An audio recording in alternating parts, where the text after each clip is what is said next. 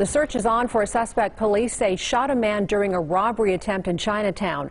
That victim in critical condition tonight after being shot nearly a dozen times. It happened at about 3 o'clock this morning. Madison Kimbrough is live at Shanghai Taste Restaurant on Spring Mountain with more details. Madison?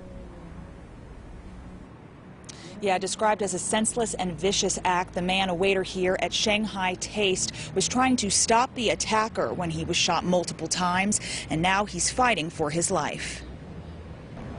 Wang was already out front on the ground in a puddle of blood. So, and then the attacker went, ran back out and ran this way. He ran north through the back.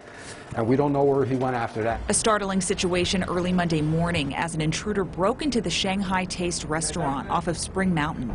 A waiter whose name is Wang was cleaning at the time. He did his best to try to stop the suspect, but was shot 11 times. Wang now is in critical condition at UMC. Those in the area say they've never seen anything like this happen here. This place is filled with people, like all the time, and especially in the mornings too, through the afternoon. So, and to have it here and with a lot of traffic go around, so it's yeah, that's shocking to hear. It's pretty scary knowing that somebody would even go to the lengths to do that, and for what? Something so petty. It worries me for my fellow coworkers and the people in this plaza. The suspect is described as a black man, last seen wearing a blue hooded sweatshirt and white shorts. The owner of the restaurant says he and the rest of his staff are keeping Wang a main priority in all of this moving forward. Right now, the only thing we care about is that Wang heals fast and as healthy as possible.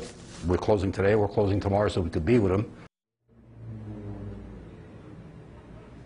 And Shanghai Taste plans to reopen on Wednesday, and they plan to donate all the proceeds they earn from the rest of the year to Wang and his family. Reporting live, Madison Kimbrough, Live Local Now.